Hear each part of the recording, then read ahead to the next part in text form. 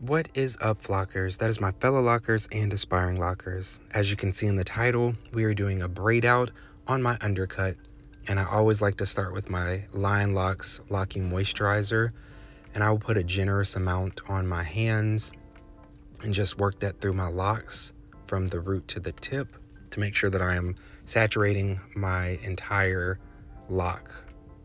And then I go in with my DIY oil that I love and I'm very generous with this and I will also coat my locks in the oil as well as do a scalp massage and make sure that I'm also getting the undercut portion of my hair too because that part needs loving.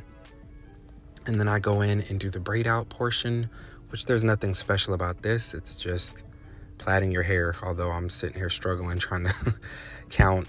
So typically when I do my braid outs, I'll do larger sections, but this time I really wanted it to be extremely defined and I wanted it to last for a couple of weeks. And so I did do smaller sections than usual. So as you can see here, I did not start the braid at the scalp. I started a little bit of ways down just so that way there's that natural kind of thing. And then I will braid it all the way down the length of the lock and at the end, I like to use little elastic bands to fasten mine. There's other ways of doing it if you want to use something else. There's other methods that you can use to, to keep your locks together. And if they're longer, then maybe you can just twist them at the end and they'll stay. I use elastic bands on mine. But I'll speed up this process just as you can see. There's nothing special or difficult about it. It is just simply braiding it down the braid outs always are are delivering on what they need to give and so can never go wrong with the good old braid out but yeah just going through and making sure that I don't leave any locks out. With the undercut I think I have a better chance of making sure that I get each and every lock but every time I have done a braid out I have left out at least two if not more locks. And then this is when I finish the process.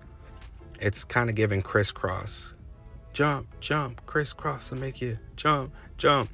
So just with the length, I'm not really crazy about it, just leaving it down. Although I could rock it. I did rock it like this to the store. But when I had an event coming up the next day, I decided that I did want to go ahead and do a style with it just so that it wasn't hanging down and looking awkward. So this is me trying to figure out a basket weave with these. The same way that I would basket weave my hair if it were in the loose locks, but now just doing it with these sections and then tying that off with an elastic band at the end. Probably should have paid a little bit more attention to making it into a bun in the back because when I do turn around, you'll see that I had some pieces sticking out. Um, but that didn't really bother me. It was fine for the event. And then this is the next day. Actually, this wasn't the next day. I left that style in for a few days. And then a few days later, I decided to go ahead and undo that. So as you can see, look at that definition uh, after letting letting it stay in for a couple of days and it was fully dry when I took it out. And so it just provided that great hold and definition. And then it has that nice wave pattern to it. And again, like I said, I did not braid starting at the scalp, so it allows that kind of loose give at the scalp and allows the hair to, to move a little bit freer and not be so stiff and lacking movement, or at least that's how I feel. That's why I don't braid all the way to the scalp. And I think it just gives a better look overall. So then I just go through and decide if I want to do a middle part, which I don't because it looked a little weird to me, and deciding how I want to wear it and style it. And that's it.